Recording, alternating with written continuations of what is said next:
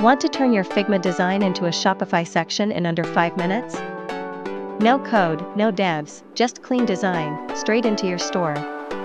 In this tutorial, we're using the Figma to Shopify with Foxify plugin to show you exactly how to do that. Whether you're a designer or a store owner, this will save you hours of manual work. Let's jump in. First things first, let's make sure your Figma design is ready. So, all layers are well organized and named clearly. This makes editing in Foxify much smoother. Using auto layout isn't required, but it helps your design adapt beautifully across screen sizes, we highly recommend it. If you're new to auto layout, no worries as Figma has great tutorials, and we've linked some helpful ones in the description. The section you see here is built with auto layout using texts, some images, and a CTA button. Now for the magic. In Figma, head to the Community tab and search for Figma to Shopify with Foxify. Click Open in Figma and you're ready to go. Back in your design, launch the plugin.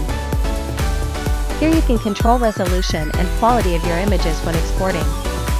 Then, select the frame you want to export, and click Copy Design.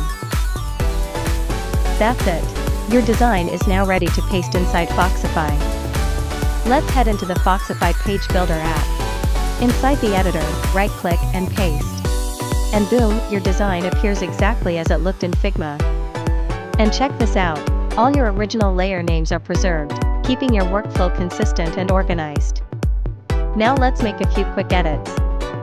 Here we select the main container element and apply a center constraint so everything aligns nicely. Right now, the container width is 1440 pixels wide, which matches your Figma canvas. But in Foxify, we are working on a smaller page width. So let's update the container settings accordingly to fit better. We also want to replace this image with a new one.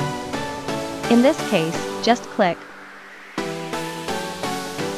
Upload, done. Then for this little CTA, we'd like to link it to a page and add some effects to make it more dynamic. Click on the button, go to the Inspector panel, General tab and select a page you want to link the button to. Let's also add some hovering effect to the button by going to Design tab, and change the button colors on hover state.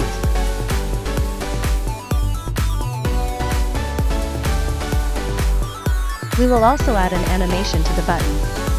This makes our button stands out when customers hover.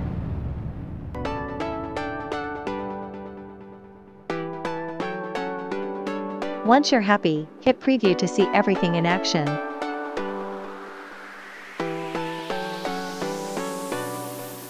And don't forget to check how your design looks on desktop, tablet, and mobile. Foxify helps you stay fully responsive with just a few clicks.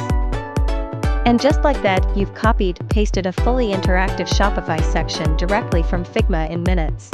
No coding, no compromises. But this is just the start.